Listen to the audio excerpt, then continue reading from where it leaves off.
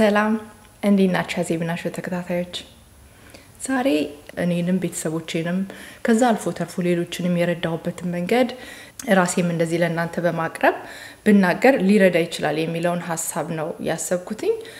እንግዲህ ከዚህ በፊት እንደምታውቁት ምግብ መድኃኒት ነው በሚለው ዓላማ ዙሪያ በጣም ብዙ ቪዲዮዎች ተሰርተዋል እና እንደምታውቁት እኔ ኪቶጀኒክ ዳይት እንደምከተል ketogenic diet ያው የምናገረውም ስለዛ ስለሆነ የኔ የ diet አካሄድ እንደዛ ነው። ከአስር ዓመት ባላነሰ ምናልባት ዘጠኝ ዓመት አካባቢ ጀምሮ የምከተለው lifestyle በጣም clean የሆነ ነገር ማድረግ እፈልጋለሁ። ቤት ውስጥም እንጀራ መጋገር ካለብኝ እንጀራ ጋግረን vegetable መብላት ካለብን እንኳን ራሳችን አብቅለን ለመብላት ነው የምንሞክረው። ብዙ fermentation ሰርቻለው። የተሰሩትን ቪዲዮዎች ብታዩ በጣም clean የሆነ ነገር ያው እናንተም እንደዛ ትገምታላችሁ። የማሳየውን እኔ ማልጠቀም ከሆነ ለሰው ለመንገር ብቻ ይሆናል ብዬ አላስብም። ግን የማሳያችሁን ነገር እየኖርኩበት ነበር እና ያንን እያደረግኩኝ እያለው በመሀል የሆነ ከተወሰነ ጊዜ በኋላ ራስ ምታት ራሴን ያመኝ ነበር። ራስ ምታት ሁልጊዜ ራስ ምታት ያመኝ ነበር ስላችሁ ራስ ምታት የማያመው ሰው አለ እንዴ ልትሉ ትችላላችሁ። ግን እኔ ራሴን የሚያመኝ የራስ ምታት ትንሽ ለየት ይላል። በቃ ለሰው መንገር ማልችለው ለማውራት ራሱ ለማውራት በቃ የማልችልበት አቅም painkiller ምናምን ሊያስታግሰው የማይችል ራስ ምታት ማለት ነው። ምናልባት ማይግሬንም ደግሞ ልትሉ ትችላላችሁ። ማይግሬንም አይደለም ሌሎቹን ሌሎች ሰዎች የሚታመሙት የራስ ምታትም አሞኝ ያውቃል እና ያ ለእኔ ምንም ማለት አይደለም። በቃ ለሰው አሞኛልም አይደለም እሱ ሲያም እሱ አይነት የራስ ምታት ሲያመኝ ማለት ነው። እና እንደዛ ይሆናል። እንደዛ ክሊን የሆነ ዳይት እየበላው ማለት ነው። ለሰው እያስተማርኩ ሰው እየረዳው በጣም ብዙ ሰው ውጤታማ ሆኖ እያለ በጎን መረዳቸው ህጻናቶች አሉ፣ ትልልቅ ሰዎች አሉ። ከብዙ ነገር ጤናማ ህይወታቸውን እየመሩ እየተረዱ ባሉበት እኔ ግን እንደዚህ አይነት ነገሮች እንትን ነበር እና መጀመሪያ ምን እንደሆነ የራስ ምታት ምን እንደሆነ ማወቅ አለብኝ። ምክንያቱም ውስጥ tumor ነገር ሊኖር ይችላል or ደግሞ የተለያዩ ምክንያቶች አለው ራስ ምታት። ራስ ምታቱ ደግሞ ትንሽ ለየት ሲል ደግሞ even serious ይሆናል እና ያንን ነገር ማወቅ ስላለብኝ CT scan መነሳት ነበረብኝ። ያንን አደረግኩ። ያን ሳረግ ምንም የለም ነው የሚሉት እና የለም ይሉኛል ብዬ በፍጹም አላስብም። ለምን ያ ራስ ምታት wasn't normal ይሄ normal የሆነ በቃ አልነበረም እና ምንም ነገር የለም አሉኝ። okay ማወቄ ጥሩ ነው። ለምን ሌላ ነገር ሌላ ከዛ ያለፈ ነገር ጢም አለ የሆነ ነገር አለ ቢሉኝ ማድረግ የምችለው መንገዶች የተለያዩ ናቸው።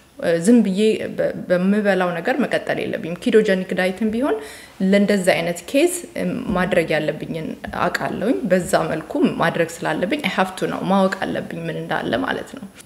okay አንድ ትልቅ ነገር ምንም ነገር የለም አሉኝ። ስለዚህ ምንድን ነው የሚቀጥለው የሚለውን መወሰን ነበረብኝ እና እንግዲህ አስቡ vegetable fruit እነዚህ ሁሉ በጣም የመጨረሻ በምድር ላይ ጤናማ እየተባለ የሚነገርላቸው ምግቦች ናቸው። የተለያየ ኒውትሪሽን ያላቸው ናቸው።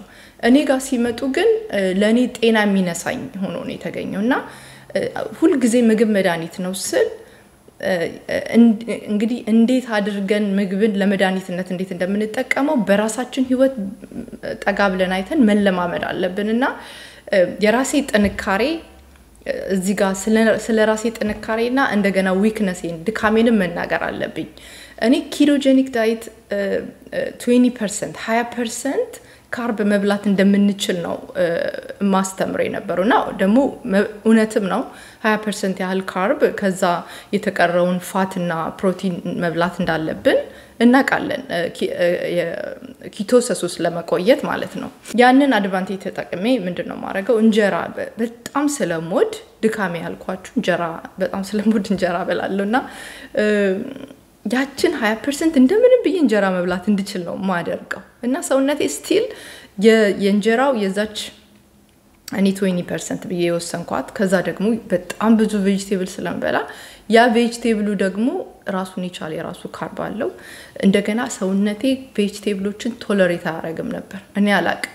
አሁን በዚህ ሰዓት እንግዲህ በእኔ ቦታ ብትሆኑ የመጨረሻ ተስፋ ነው የምትቆርጡት። ጤናማ ምግብ ነው የምበላው ምንድን ነው ይሄ ነገር? ስለዚህ በቃ ብላችሁ የመጨረሻ ተስፋ ነው የምትቆርጡት። ለምን ራስ ምታቱ መጠነኛው መጠኑ እየጨመረ መጥቶ ምን እየሆንኩ ይመጣሁኝ በጣም ይገርማል። ለብዙ ሰዎች ያላወራሁት ነገር ነው እና መኪና እየነዳሁኝ መኪና እየነዳው እግሬን ጭንቅላቴንና እግሬን ማዘዝ አቃተኝ አንድ ጊዜ እና ፓርክ አደረግኩት። ምክንያቱም የሆነ ነገር ሊፈጠር እንደሆነ ገብቶኛል። balance ማድረግ አልቻልኩም። ከዛ ፓርክ አደረግ ቆየሁኝ። የተወሰነ ሰዓት ሲሆን የሆነ እንትን አለ ተመለሰ ሰውነቴ፣ እንዲህ shake እያደርጋል ይንቀጠቀጣል ሰውነቴ ምናምን።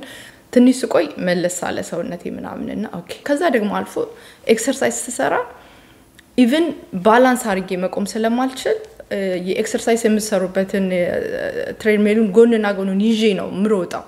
ለመሮጥም exercise ለማድረግ ለምን balance ማድረግ አልቻልኩም። ያን ያህል ጭንቅላቴ ሰውነቴ communicate ማድረግ አልቻለም እና በ spinal cord ኤ ደግሞ አልፎ የሆነ የሚሰማኝ ነገር አለና I know ዋስቆ ነው የሆነ እየተፈጠረ ያለ የሆነ ነገር ይገባኛል። ግን ደግሞ የማደርገውን ነገር ደግሞ እየቀያየርኩኝ ሞክር ነበር እና አንድ ነገር አደርጋለሁ በእኔ የኔ personality ምንድን ነው?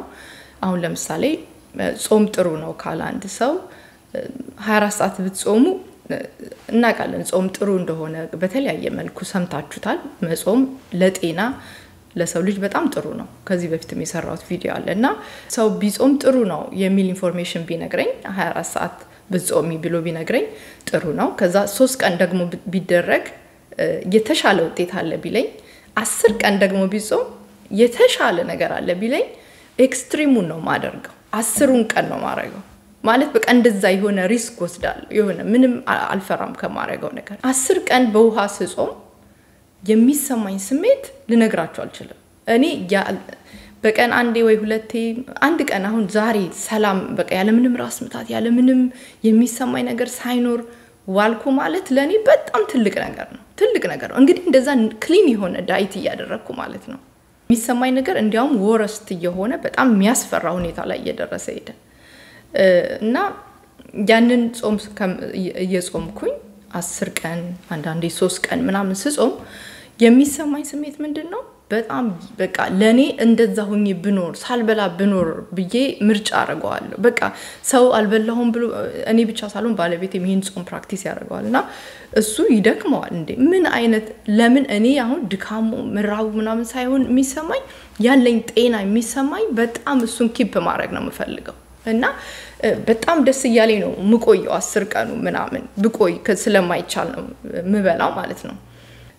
ያው እንደነገርኳችሁ ድካሜ እንጀራ መብላት ነው እና ያንን ሳረግ ሁልጊዜ የኔ ketogenic diet የመቆየት እድሉ ብዙ አይደለም እና በጣም እንጀራ ስለምወድ ዛሬ ትንሽ ደና ከሆንኩኝ በሚቀጥለው ጊዜ እበላለሁ እና ketogenic diet ኤ normal ketogenic diet ላይ መቆየት አልቻልኩም እና ያንን በጾም ጾም ውስጥ እያለሁኝ እየተሰማኝ ያለውን መልካም ነገር ለመቀጠል ምንድን ያደረኩት ስጋ ብቻ መብላት ወሰንኩኝ ማለት ነው።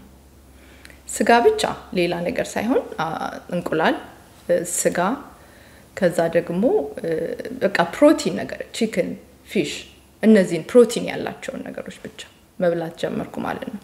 በሁለተኛው ቀን አታምኑኝም፣ በሁለተኛው ቀን ጀምሬ አሁን አንዳንድ ጊዜ ይህን ያህል ቀን በልተ ጤነኛ ትሆናል፣ ይህን ያህል ጊዜ ብትበላ እንደዚህ ምን ያህል ቀን ይፈጃል እኔ ደህና ልሆን ምናምን ይሉኛል ያኔ keto ላይ ግን እንደዚህ አይነት ለእናንተ ለሰውነታችሁ inflammation የሚሆነውን ነገር ባቆማችሁ ጊዜ ጤናችሁ ይመለሳል። ይገርማል። እና ያንን ስጋ ብቻ መብላት ስጀምር ያንን መልካም ነው ብዬ የማስባቸውን vegetable ኦች ምናምን ሳቆም በሶስት በአራት ቀን ከሁለተኛው ቀን ጀምሬ የሚገርም ስሜት ነው በቃ የነበረኝ ማለት ነው። ጤናዬን ልነግራችሁ አልችልም። በቃ እንደዚህ ደስተኛ ሆኜ አላውቅም በህይወቴ ማለት ነው። አሁን ሰባት ስምንት ወር የማይቀየር አንድ ቀን ሁለት ቀን ለእኔ በጣም ትልቅ ነገር ነበር። ራስ ምታት ሳያመኝ ምናምን መቆየት። ራስ ምታት ስላችሁ ያው በጣም ይለያል፣ ለሰው ለመግለጽ አልችልም። በሚገርም ሁኔታ ስጋ ብቻ ነው የምመገበው። ጤናዬን ልነግራችሁ አልችልም። እና ይሄን information እኔ ብቻ ሳልሆን በዚህ ነገር ላይ የተደረጉ በጣም ብዙ ጥናቶች አሉ። የተለያዩ በሽታዎችን treat ያደርጋል። ስጋ ውስጥ ያለው nutrition ለሰውነታችን በቂ ነው። ያንንም ምን ምን እንዳለው ውስጡ በዝርዝር ለእናንተ አስቀምጥላችኋለሁ። ሰውነታችን ያለምንም nutrition እጥረት energy ያችሁ በፊት ከነበራችሁ የተሻለ ሆኖ ጤናማ ሆናችሁ መኖር ትችላላችሁ እና በስኳር በሽታ የምትሰቃዩ፣ በደም ግፊት የምትሰቃዩ ዶክተር ከዚህ በላይ መሄድ አልችልም፣ ይሄ የመጨረሻችሁ ነው ያላችሁ ሰዎች፣ ተስፋ የተቆረጠባችሁ ሰዎች ይህን ሞክሩት። እንደገና ደግሞ በ ketogenic diet በማስተምርበት ጊዜ ለ keto የሚሆን አቅርቦት ኢትዮጵያ አልነበረም እና በጣም እቸገር ነበረ ለማስተማር። ጤፉን sprout አድርጌ carb ኡን ለመቀነስ ሞክር ያለው አይታችሁት ከሆነ ቪዲዮውን ያንን check ሳስደርገው carb ኡ still high ነው እና የተወሰነ ጥቂት እንጀራ በመብላት ያንን ልትሞክሩ ትችላላችሁ እያልኩ አስተምር ነበረ።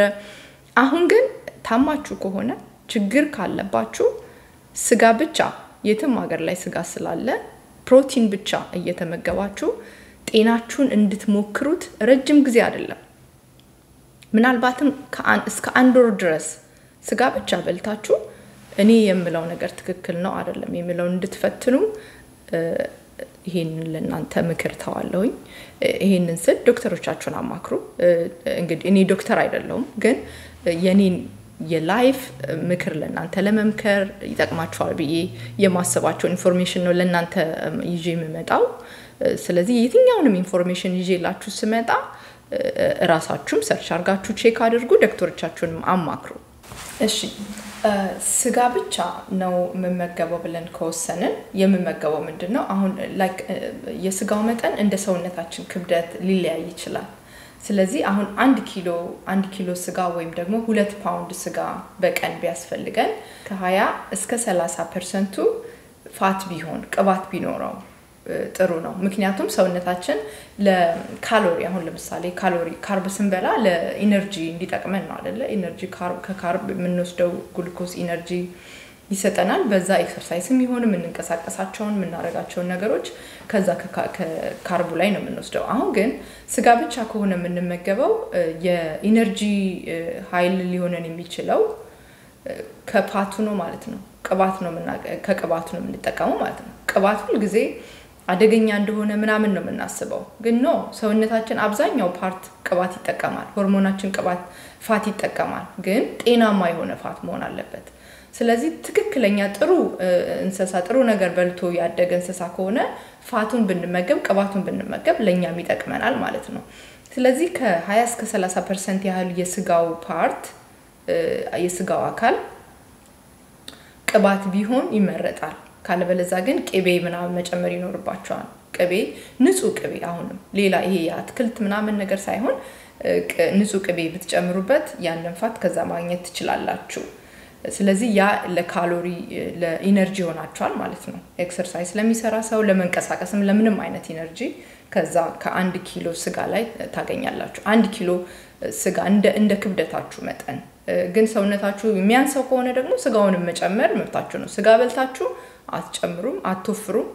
በጣም የሚገርም ነው። ለዛ አሁን ከነገርኳችሁ benefit ውጪ ስጋ ስለበላሁኝ ያገኘሁትን ደግሞ ሌላ ጥቅም በሌላ ቪዲዮ እመጣበታለሁ። ብዙ ስለሆነ በዚህ ቪዲዮ መጨረስ ስለማልችል በሌላ ስራ መጥቼ ደግሞ explain አደርግላችኋለሁ። ስለዚህ ከአንድ ኪሎ ስጋ በርከት more ስጋ ስትበሉ እዛ ውስጥ ያለው benefit ም more ይጨምራል ማለት ነው። ስለዚህ thiamine 60 percent ያህል ከአንድ ኪሎ ስጋ ላይ ታገኛላችሁ። ቢ ቫይታሚን ሰውነታችን በብዛት በተለይ brain አካባቢ በጣም ይጠቀመዋል። ለዛ ነው በተለይ autoimmune disease autoimmune disease አለባችሁ የተባላችሁ ሰዎች immunity ያችሁ በተለያየ መልኩ mistakenly ነው ማለት የሆነ ነገር የመጣ ስለሚመስለው ሰውነትን ትክክለኛ ባልሆነ መንገድ attack ያደርጋል። እና ምናልባትም የተለያዩ በሽተኞች እንደዚህ የ autoimmune disease ያለባችሁ ተስፋ የላችሁም፣ በመድኃኒት ነው የምትኖሩት የተባላችሁ ሰዎች carnivore ወይም ደግሞ ስጋ ብቻ የመብላት diet ሞክሩት፣ ውጤታማ ትሆናላችሁ። እና ለዛ I think በ autoimmune disease ከፍተኛ ውጤት የሚታየው ለምንድን ነው? በጣም ብዙ ቢ ቫይታሚን አለበት ስጋ እና ከ150 percent እስከ 920 percent ያህል ቢ ቫይታሚን ታገኛላችሁ። ለዛ brain አካባቢ ላለ ችግር የ mental issue ያለባችሁ ሰዎች ይሄ ሁነኛ የሆነ መፍትሄ ነው ማለት ከቫይታሚን ቢ ከፍተኛ መገኘት የተነሳ ማለት ነው። ስለዚህ ይሄንን ሞክሩት። ፖታሲየም 120 percent አለበት፣ ማግኒዚየም 75 percent አለበት፣ ቫይታሚን ሲ 30 percent አለው። ለዛ ነው በ carnivore የሚከተሉ ስጋ ብቻ የሚበሉ ሰዎች በ scurvy ወይም ደግሞ የቫይታሚን እጥረት የማያጋጥማቸው በቂ የሆነ ቫይታሚን አለው እና በተለይ ደግሞ ኦርጋን ጉበት ምናምን የምትጨምሩበት ከሆነ ደግሞ nutrition መጠኑ በከፍተኛ መንገድ ይጨምራል። ከላይ ከነገርኳችሁ በተሻለ መልኩ የተሻለ nutrition ታገኛላችሁ ማለት ነው። ጉበት ውስጥ ኦርጋን፣ ልብ ምናምን ተጨማሪ የምትጠቀሙ ከሆነ በጣም ብዙ ቫይታሚኖች ታገኛላችሁ። ስለዚህ ያንን አድርጉ። ጉበትም ለመብላት የምታስቡ ከሆነ ከ250 ግራም በቀን 250 ግራም የ liver መጠን ማለት በጣም ትንሽ ነው ግራም ነው እና ብትወስዱ 100 percent ቀን በቀን የሚያስፈልጋችሁን የቫይታሚን ሲ መጠን ማግኘት ትችላላችሁ። ከዛ ከ250 ግራም ጉበት ማለት ነው። ስጋ ብቻ በልተን እንዴት መኖር እንችላለን? ሰውነታችን የሚፈልገውን nutrition ሁሉ ማግኘት እንዴት ይችላል አላችሁ? አሁን ለገለጽኩላችሁ የስጋ ውስጥ ልታገኟቸው የምትችሉትን የቫይታሚን መጠን explain ላረግ ሞክሬያለው በዚህ አጋጣሚ ሰውነት inflammation እንዳይኖረው ከሚያደርጉ inflamed እንዳይሆን ከሚያደርጉ ምግቦች አንደኛ ደረጃ የተቀመጠው ስጋ ነው። አንደኛ ደረጃ ምንም አይነት inflammation ሰውነት ላይ እንዳይሆን የሚያደርግ ማለት ነው። ልክ ስጾም የሚሰማኝን ያ መልካም ስሜት በዛው ቀጥዬ እንዲሰማኝ ያደረገው ስጋ ብቻ ነው። ቬጅቴብል ሞክር ያለው ስለ እኔ አመጋገብ ያው ከዚህ በኋላ ከዚህ በፊት የተሰሩትን ቪዲዮዎች ሄዳችሁ ማየት ትችላላችሁ። እነዛን ሁሉ ሞክሬ ያላገኘሁትን ደስታ፣ ሰላም በቃ አሁን ያለኝን የጤና ለእናንተ የሚሰማኝን ጤና ለእናንተ ለመግለጽ አልችልም። በእውነት ነው የምላችሁ። በጣም እጅግ አስገራሚ ውጤት ነው ያገኘሁትኝ እና ስጋ ውስጥ ያለው ተአምር ስጋ በመብላት የሚገኘው ተአምር እጅግ በጣም አስደናቂ ነው እና እንድትሞክሩት አበረታታችኋለሁ። እንግዲህ የተለያዩ ጥናቶች አሉ። ይህንን እናንተ በራሳችሁ search ማድረግ ትችላላችሁ። ስጋ ላይ ስጋ በመብላት ብቻ የሰው ልጅ መኖር ይችላል ወይ የሚለውን ጥናት በጣም ብዙ ጥናቶች ነው ያሉት። ግን በዚች አንድ ቪዲዮ ውስጥ ብዙ ሁሉንም ማቅረብ አልችልም። በተለያየ ጊዜ የተለያየ information ይዤላችሁ እመጣለሁ። ግን ዛሬ ሃርቫርድ ሜዲካል የተደረገ ጥናት አለ። እሱን ላቀርብላችሁ። በሁለት ሺህ ሰዎች ላይ ሁለት ሺህ ሰዎችን ነው ያው የተወሰነ ሰው ላይ ነው ጥናቱ ማድረግ የፈለጉት እድሜያቸው 18 ከ teenager ከሆኑ ከ18 ዓመት ጀምሮ እስከ 85 ዓመት ገደብ ያላቸውን ሰዎች ነው collect ያደረጉት። እዛ ውስጥ ሁለት ሶስተኛው ወንድ ነው፣ አንድ ሶስተኛው ሴቶች ናቸው።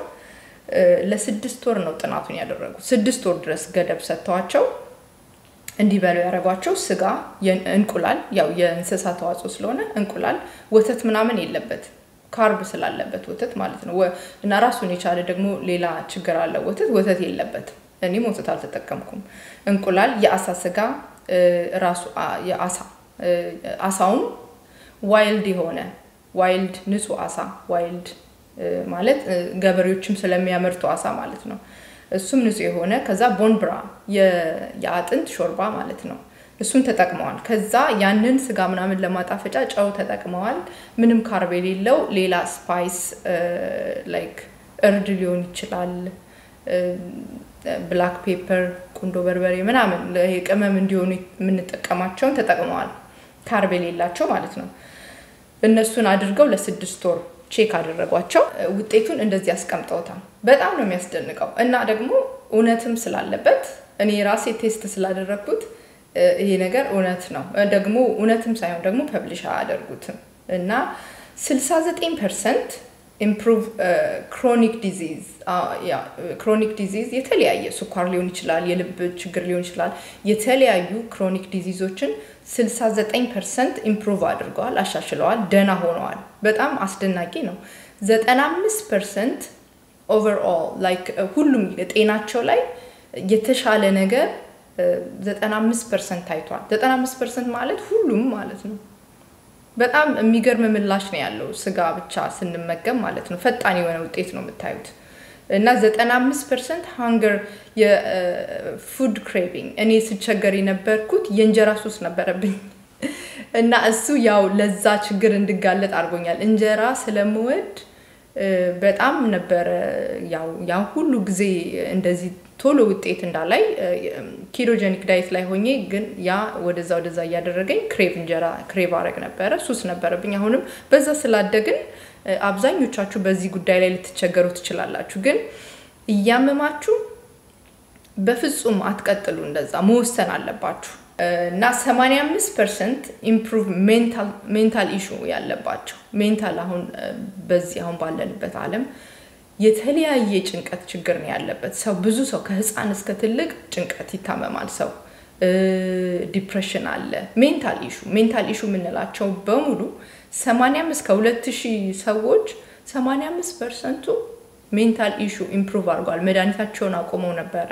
66 percent memory 83 percent focused 83 percent ኡ focus ማለት focus አለመሆን ራሱ ከጤና ችግር የተነሳ የሆነ ነገር ጀምረን እንተዋለን። የሆነ የምናረገው ነገር ላይ focused አይደለንም። የሆነ ቅብጥብጥ የሚያደርግ ነገር ምናምን ያ የጤና issue ነው እና 83 percent በቃ ተረጋግተው እንዲኖሩ life ኣቸውን ረድቷቸዋል። በጣም ብዙ ነገር ነው ያለው፣ ግን በጥቂቱ ነው። 69 percent sleep የእንቅልፍ ችግር የነበረባቸው አሻሽለዋል። 78 percent strength ማለት አሁን carb በልተን ምናምን የሌለንን ጥንካሬ ፕሮቲን ስለሆነ ጠንካራ አጥንታቸው ጠንካራ እንዲሆኑ በሚያደርጉት ነገር ጠንካራ እንዲሆኑ ረድቷቸዋል ነው የሚለው። 89 percent energy energy ማጣት በጣም እንደሚባለው አሁን ለምሳሌ አቅም አቅም የለኝም ምናምን ካለ ሰው አቅም የለኝም ሲል በጣም ለመግለጽ ያቅታል። እኔ እሱ የእሱ ችግር ነበረብኝ። በቃ የሆነ ነገር ተነስተን ለማድረግ motivate አለመሆን፣ energy ማጣት በጣም በሽታ ነው እና እነሱ 89 percent ማለት almost ሁሉም ማለት ነው energy ያቸውን እንትን ብለዋል እና improve የደም ግፊት፣ ስኳር አሁን የስኳር ችግር 95 percent diabetics እና insulin resistance 95 percent almost ሁሉም በተለይ ስኳር ምናምን የስኳር ችግር እንግዲህ አብዛኞቹን ወደ ሞት የሚያደርስ እግር መቆረጥ፣ የ kidney damage ያን ሁሉ የሚያደርስ በሽታ ነው። ግን ስጋ ብቻ ተመግበን ያንን control ማድረግ ከቻለን why not 89 percent autoimmune disease እንግዲህ ዶክተሮች ካላቸው አሁንም ይህን ነገር ለእናንተ ተዋለሁ። autoimmune disease በሽታው መድኃኒት አስቸጋሪ ነው ለማግኘት። በሽታውን ራሱ find out ለማድረግ በጣም አስቸጋሪ ነው። ብዙ ወገኖቼ በዚህ የምትሰቃዩ ልትኖሩ ትችላላችሁ። ስጋ ብቻ ግን መፍትሄ ነው። ይህንን information ለእናንተ ይዤ ስለመጣው በጣም ደስ ብሎኛል። በዚህ ነገር ላይ ችግር ያለባችሁ ሰዎች ይሄ ይሄ ይሄ አለብኝ እንድትረጅኝ ፈልጋለሁ የምትሉ ሰዎች comment ላይ ከታች አድርጉልኝ። ለእናንተ የተሻለ ለብቻችሁ የሆነ training ያው ያልተናገርኩትም ሌላ ከኋላ ያለ ነገር ካለ ሁሉንም information አንድ ላይ አድርጌ እናንተን train ማድረግ እችላለሁ። ጤናችሁ እስከሚመለስ ከእናንተ ጎን ልቆም እችላለሁ። ከዚህ በፊት በሰራሁት ቪዲዮ ላይ ነፃ የሆነ training እሰጣለሁ ብያለሁኝ። የምችለውን ሁሉ አመቻችቼ በዚህ ችግር ውስጥ በተለያየ ችግር ውስጥ ያላችሁ ወገኖቼን address ለማድረግ እሞክራለሁ። የስኳር በሽታ ችግር ያለባችሁ፣ የደም ግፊት፣ በአይምሮ ጭንቀት የምትሰቃዩ፣ autoimmune disease ችግር ያለባችሁ፣ ኦቲዝም ልጆች ያላችሁ ከታች comment ላይ አድርጉልኝ። ከእናንተ ጋር ብሬ ይሰራለሁ። ለዛሬ ያለኝ ይሄ ነው። እንግዲህ ከስጋ በመብላት ብቻ ያገኘው ጥቅም ደግሞ የቀረውን በሌላ ቪዲዮ መለስበታለሁ። ምክንያቱም እጅግ በጣም ብዙ ነው። ሰላም ቆዩ።